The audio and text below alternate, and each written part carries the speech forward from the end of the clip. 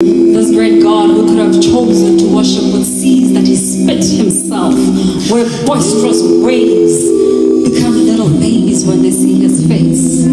Sand as far as the eye can see, curling through the feet of my master's feet. And yet he chose to worship with you. Be silent. The Lord is in his holy temple. This great God who could have chosen to worship with the fowl of the the where the lion king himself moves.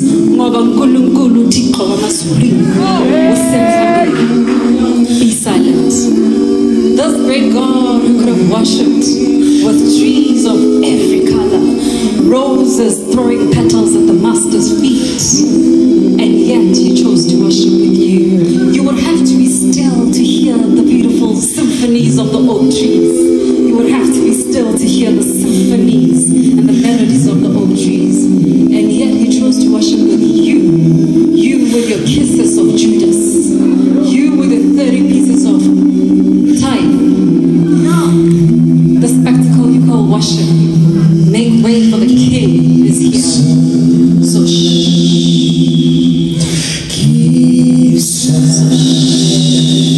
Let me take and seize this golden interstice of time to welcome you all to this exciting occasion, the first of its kind. A pedigree pastor, Yeah. a man beyond the frontiers. You can see that when we speak about excellence, I think half of the work is done by merely presenting yourself good. Pastor Nonofo Mothowakae, all the way from Johannesburg. He's going to speak words of excellence to us because we are thirst, we are hungry for something. And we are not merely going to settle for the status quo. We are not going to accept enough in our vocabulary because excellence is about realizing that there is much more to conquer. And the more we conquer, the more we realize there are many more worlds for us to conquer. The more we acquire knowledge, the more we learn that we know nothing, the more we appreciate there is much more to know. And I guess that is precisely what he's going to do for us. He's going to make us feel so uncomfortable with the status quo and yearn and dream for something much bigger. He has come along with his one and only flamboyant and fluorescent wife.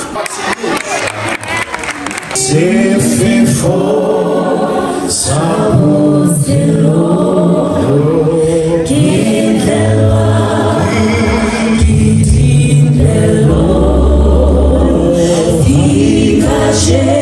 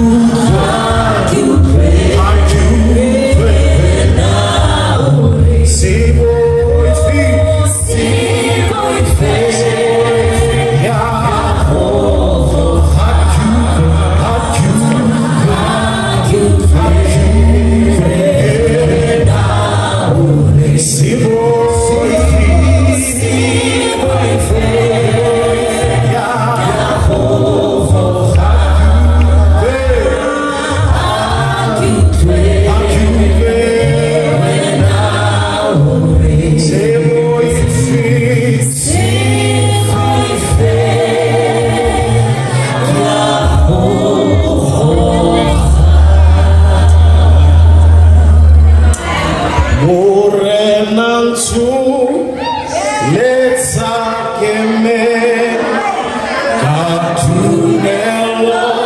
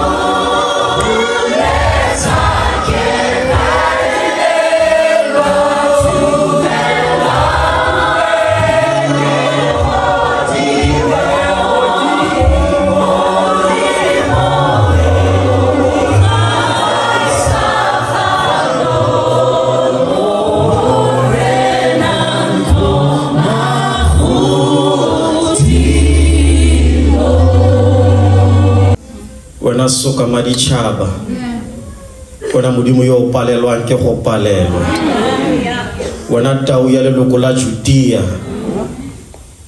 rora modimo wa rona rona.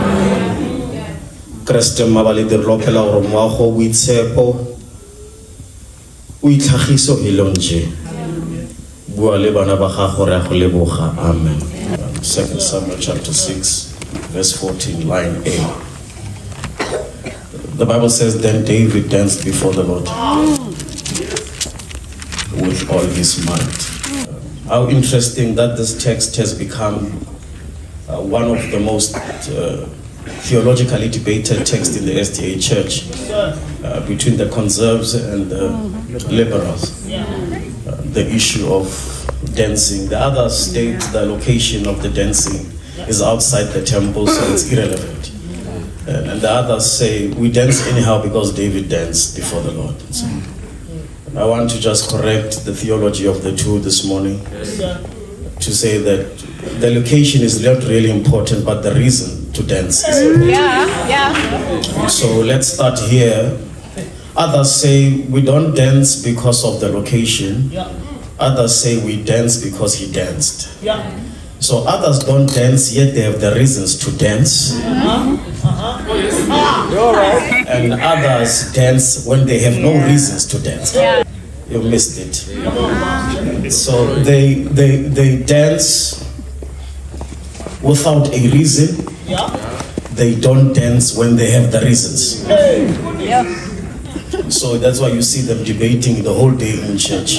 Why is he dancing? Why is he sweating in church? And, and yet they have reasons evident to them on why they should dance, but they are not dancing. But please follow the preacher very well. The dance is not actually the main story. Uh, but go back a few verses before you can get to chapter 14. Uh, if you read the story very well, the Bible says, follow me closely. The Bible says David has now become the king of Israel. He has just entered into office. And the first thing he asked is, Where is the ark of God? Oh. He says, I, I can't start my leadership in the absence of the ark of God. Where is God? And so they tell him, No, God is not in his rightful place. He's somewhere in the enemy's camp. In other words, David is now perplexed and confused. How is the ark of God absent for 52 years? While others have been leading in the absence of God? Hear the words of the preacher this morning. Be careful of leading in the absence of the ark. Many of us have started things in the absence of God. And many of us carry on as if the ark is present when the ark is absent. So we have a church full of elders that are leading in the absence of the ark. Mm. But hear the words of the preacher this morning. How I wish that the Adventist church can have leaders who would refuse to lead with the, in the absence of the ark. Where is God? So that's the question of David, and they tell him the ark is in the enemy's camp, and so he picks up soldiers and, and they go and fetch the ark. When they arrive to go fetch the ark, follow the story very well. When they arrive to go fetch the ark, mm. the Bible says that they look at how the enemy transports the ark. Yes, sir. It was the most extravagant way. And be careful also of extravagant things. All right, all right. And so the Bible says, friends, they, they, they look at this method. The ark is transported on oxen. And the Bible says on a new cart. Yeah. And so David looks at this method and he employs the same method to transport the ark of God. But look at the Bible. The Bible says, as the ark is being transported in a wrongful manner, number one, be careful of transporting God's things oh. in unholy manners. Mm. And so the Bible says, friends, they, they, they, the ark is on a new cart, right?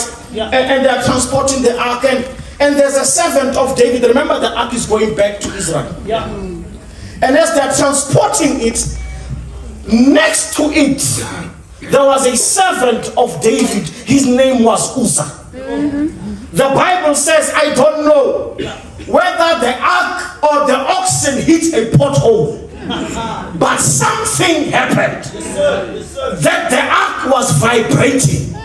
And it appeared as if the ark was falling. And the Bible says the servant of David, Uzzah, looks at this ark as it's about to fall, reaches out to the ark to assist the ark from falling. And the Bible says the God of the ark kills him. And the Bible says David leaves the ark at the house of Obijah and lives for three months in the palace. And he hears that the ark is performing. And the Bible says he goes back and fetches it. After he fetches it, and then when the ark arrives in Israel, he starts to dance. That's what the story is. But back up with me. We pick up a few lessons and we can go for lunch. The Bible says the ark is being transported, right? And next to the ark, there's a servant of David. His name is Uzzah. And the Bible says Uzzah sees the ark as if it's about to fall. It is appearing. It is an appearance. The ark is not falling. It is appearing as if it's falling. Mm. But yet it is not falling. It is just an appearance. It appears as if our lives are messed up. It is just an appearance. Who are you to assist God? It appears as if our marriages are falling. It is just an appearance. Who are you to assist God? Now you hear them assisting God, trying to discuss how the youth worships. I know there's a certain messages that are roaming around. They made them pay on Sabbath. Who are you to assist God? Yeah. Yeah. Let, me not get there. Let me not get political. I'm just a pastor. And so look, look at the story well, friends. There's, there's a servant there, Uzzah, and he looks at this whole thing as the ark appears as if it's about to fall. He reaches out to the ark to assist the ark from not falling. He's doing a noble thing, but the God of the ark kills him. Why should he kill him? Two reasons.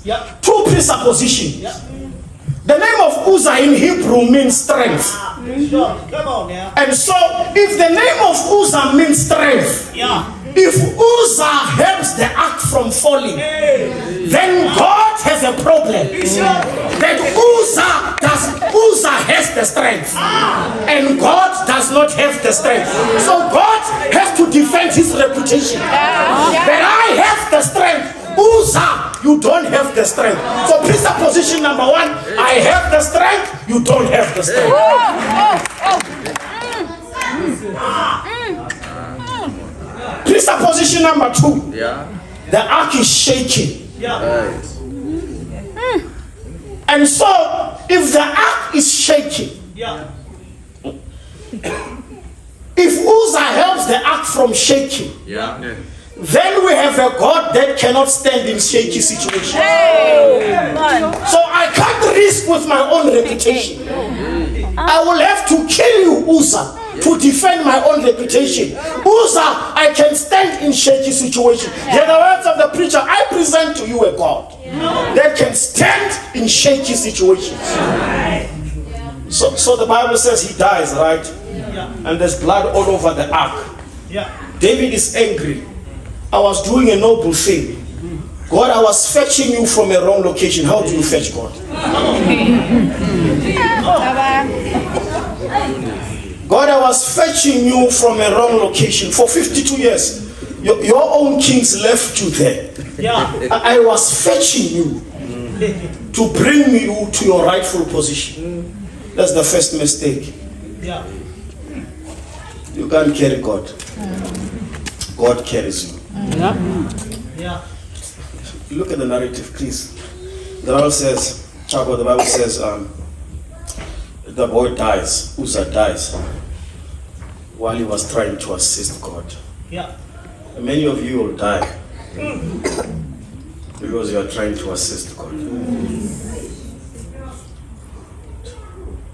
But that's not where really I want to go, but follow me nicely. So, so he dies, and David leaves the ark again midway to its original destination. He lives at the house of Obadiah. Yeah. and he's there leading. Remember his first statement Yeah. How do I lead in the absence of God? Yeah. But he goes and leads because he's disappointed with God. Come on. Many of us have started a protest with God when we're actually the ones who God needed to start a protest against us. And so the Bible says, and so the Bible says he starts a protest against God, protest against God for three months. He's in the kingdom leading, angry at God, the same God who called him and anointed him for this position. So you have people, you have people who are doing God's work, yet they're angry at him. And so the Bible says, so the Bible says he he then he then he then does this thing for three months. But at the house of Obediam there was worship. And so the address of God changed. And he became a resident at the house of Obediam. Because at the house of Obediam there was worship in tragedy. Ah. They did not look at their situation. They looked at the situation, but they understood mm-hmm. that we don't worship God through our feelings, we worship Him through our faith. Amen. And so the Bible says, at the house of Obediam there was worship. David hears Yeah. That the ark is performing at the house of Obediam. And the Bible says, he then says, gentlemen, it's fine now. The protest ends here. Let's go fetch it. Clearly it's working. Let, us go fetch it. They go and fetch it. When they arrive at the house of Obediam, David says, uh-uh, I'm never going to make the same mistake I made the last time. I will transport holy things in holy manners. And I will, I will transport this thing according to the book of Deuteronomy and the, according to the book of Leviticus. Yeah. That will have four men carrying this up with sticks. Yeah. And, and, and on this time, we will use the right methods. Yeah. We'll use the right method to, pro, to, to, to, to transport good things. Can I say this to all of us? While we do our own things, Yeah. make sure you use God's method. And so the Bible says, and so the Bible says they, they he carries four men with him to go transport the ark. And two in front and two at the back, and they are carrying sticks. And David says, ah, I will become excellent while I transport it. Look at him. I will become excellent. I, I will ignore everything. Yeah. And I will do things right. Not only will I do things right, but I also not only take Deuteronomy and Leviticus, I would also like to bring the book of Psalms to place. Leviticus, they only transported him because the Lord dictated. But with me, I'm an excellent king. I will not only transport it in this manner, I will transport it in a rightful and excellent manner. Give me four men. Not only will they transport the ark, but they will worship the ark while they're transporting it. Oh, oh, oh. And so the Bible says, He says to them, You will carry this ark, and you will only take six steps. And after six steps, you stop and you worship this ark. Six steps you take and you will stop and you will worship this ark. Six steps you'll take and you will stop and you will worship this ark. Allow me to be an Adventist preacher. Six days thou shalt labor. The seventh day you shall rest. Six days. Six steps you will take. Yeah. Six steps you will take and you will stop and you will worship him. The reason why they are worshiping him, friends, is for this reason. They realize that what we are carrying, Come on. Come on. come on. we are not carrying it. It is carrying us. Come. So si jere. Yeah. Ga wa se jara se jerewe. Setswana sa batlhapi. So, so we don't keep the Sabbath. Yeah. The Sabbath keeps us.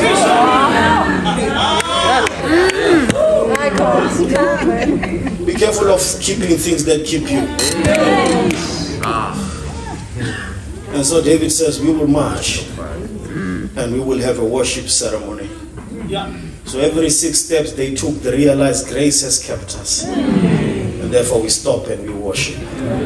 And that's why the Sabbath day must not be a boring segment of our lives where we come and tick the register. We are here because we realize that it has carried us for the six, six days. And, so we want to dedicate our lives to it so that it can carry us more. So we stop and we worship. And so I don't know, the journey took longer Yeah. because of the worship. Yeah. Maybe he will delay to come because of our worship. Yeah? So the Bible says, friends, they, they take six steps, they stop and they worship, and they realize that uh, it is carrying us. We are not carrying it. They arrive in Israel. Yeah. When they arrive in Israel, Yes, sir. David looks at the ark. Yeah. And the Bible says he takes off his butchiness, his kingship, Hey. and he started to dance. Ah. A whole king looking at the ark, losing himself to worship the ark. Many of us are so butchy in church. You, you come here and you sit the way you want to sit because you want to show us how nice you are. Can I tell you, it's not about you. Yeah? Come on, Bishop. Right. It's not about your makeup. Yeah. It's not about your Louis Vuitton. No. It's not about your Gucci. It's not about. It's about the ark. Yeah. So David loses himself Yeah. for the sake of the ark. Can I say this before I leave? Lose yourself for God. If you want to be excellent, lose yourself for God. And so the king takes off his butchiness. Look at the story. Yeah. The whole kingdom is watching Yeah. while the king is dancing. And he started to dance. Mm-hmm. And the Bible says, when he was dancing, mm-hmm. The whole nation started to dance. Oh, Mafaru, I think Come on, Bishop. the reason why our churches are called is because our pastors are called. The reason why our churches are not dancing is because our pastors are not dancing. And so the Bible says he started to dance, and the whole kingdom joined him. Yeah. Three reasons, and I close the sermon. Why should David dance? The first reason Bring it on. David dances because God allowed his correction to take place. It was not Uzzah that was supposed to die, Yeah. David was supposed to die. Yeah. David employed this instrument of oxen and a chart. Yeah. So God sacrificed Uzzah for the correction of David. And so David looks at the ark and starts dancing because David realizes Yeah. that this man kept me in my mistake. I could have died. Uzzah was supposed to leave. Many of us should pause right now Yeah. and start dancing because God allowed our corrections to take place. Let's be real in this place. You are not supposed to be here. You were supposed to have died long time ago. But many died before you because God wanted your correction to take place. Yeah. And so I dance Yeah. because I realize that He's merciful uh-huh. and that His mercy has kept me in my mistake. In other words, I dance because I realize the blood of Uzzah. Christology. Bring it on. I dance because I realize Yeah. the blood of Uzzah was for my correction. So we dance because we realize the blood of Jesus was for our correction.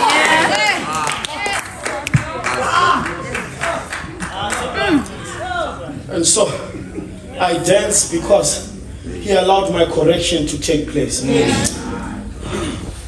My wife is going to be mad.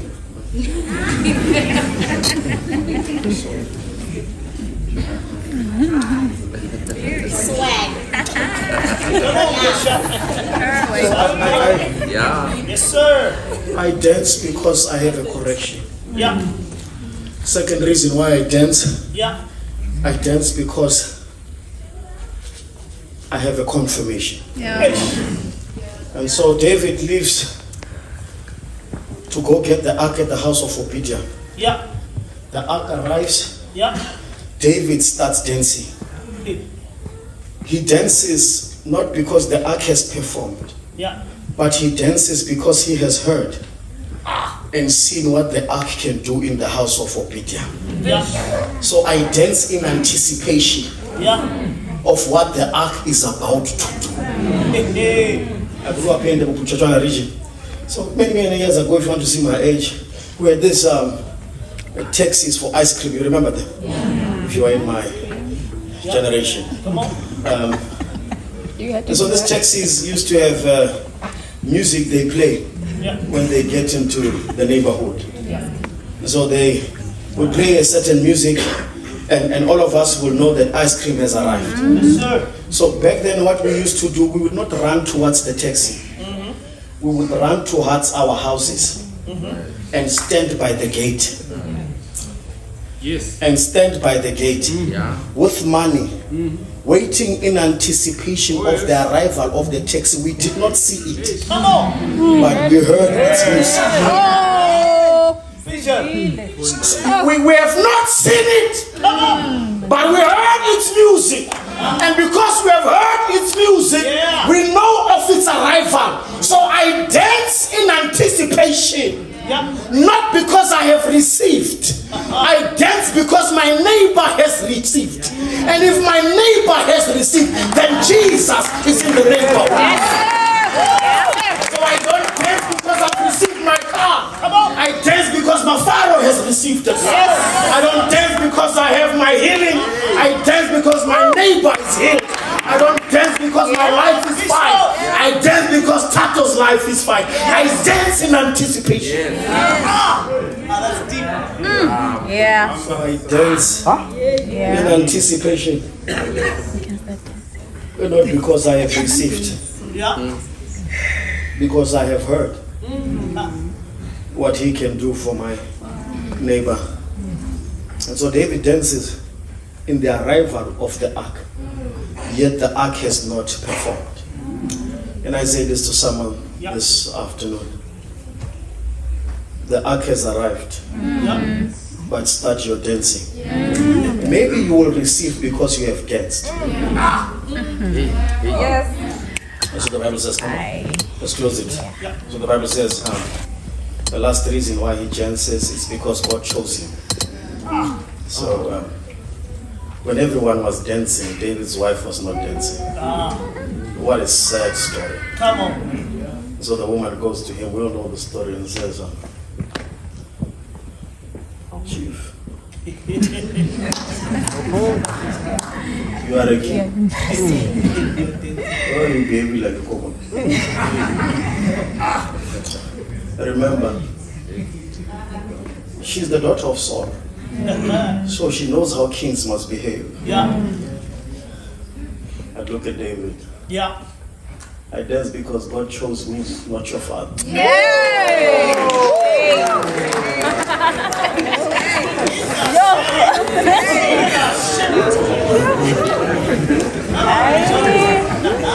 I dance not because I'm perfect. I dance because He chose. Yeah. This morning, I don't want to speak to perfect people. Come on, Vision. I want to speak to a young person that says, Lord, for the mere fact that I'm here, I know that you've chosen me. Yeah. Uh, not many people are here. Yes. Not many made it to this far. But because I made it, I just want to dance. There's someone in this place, Pastor Mafar, who's been in a protest with God for so many years about something that happened to them years ago. And I hear the words of the preacher stop that protest and fetch the ark this morning. I don't know the tragedies you have faced, but at this moment, they will not help you with anything. Yeah. Dance in the midst of that pain, dance in the midst of those tears.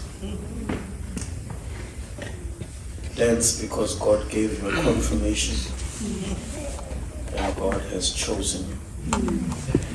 Is there someone in this place who says, Lord, I thank you for my correction? Thank you that you have kept me in my mistakes up until now. Oh, yeah.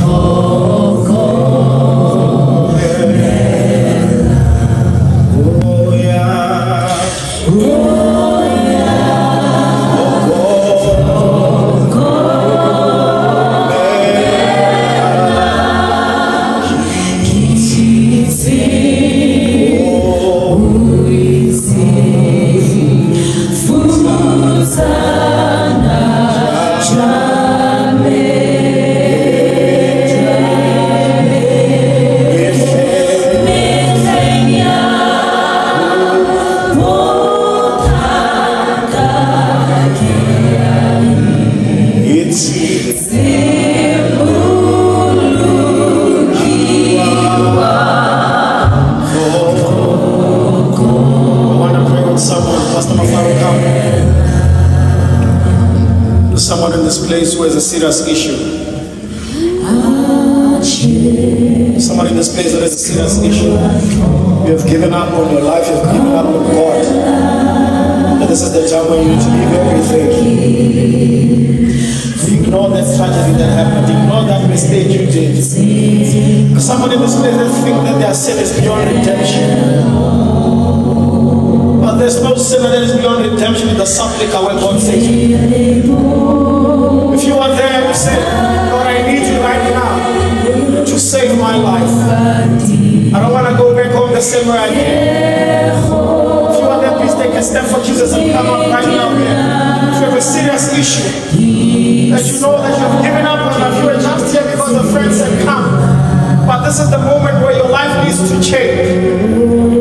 If you are there, please take a step for Jesus.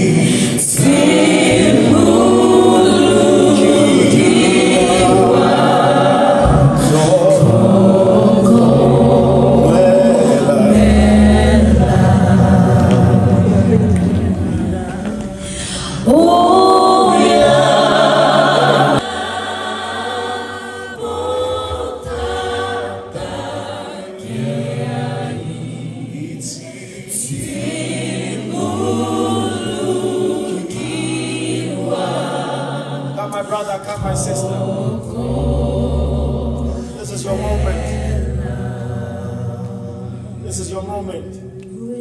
You have given up on life. But God says, when they have given up on you, I have not given up.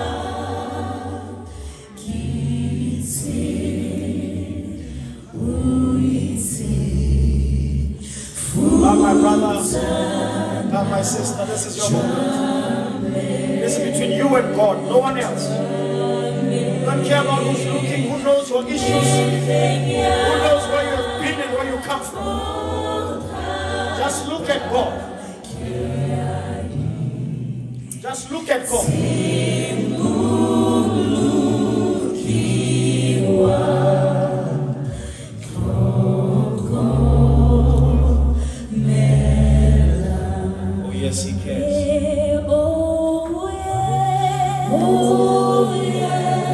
Extra hand. If you are there, just raise your hand. Somebody next to you can help you out. There's somebody who says, I'm just struggling here, but I want to see there's a hand over there. If there's anybody else who says, anybody, if you are there, I don't mind. Pastor can come and pick you from there.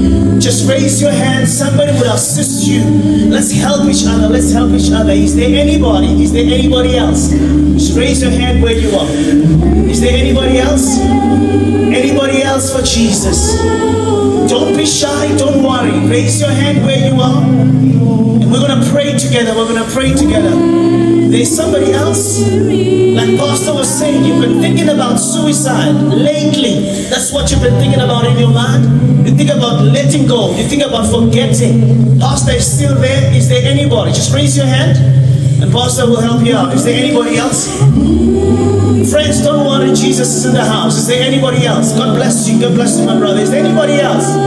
You know yourself. Father, what in heaven, after this, we have nothing to ask you of, but to thank you so much more for what you have done for us in this place. May your name be praised and glorified eternally. In the name of Jesus, amen. Thank you so much, Joe Beck, this morning. I want to thank um, the Kenyans, I want to thank the Zimbabweans for what they have done. What does Botswana say?